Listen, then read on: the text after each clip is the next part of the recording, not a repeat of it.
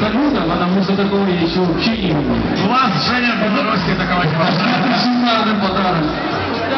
Ну что, друзья, вы знаете, спасибо вам большое за то, что вот именно в этот день, в День независимости Украины, вы в таком количестве здесь собрались.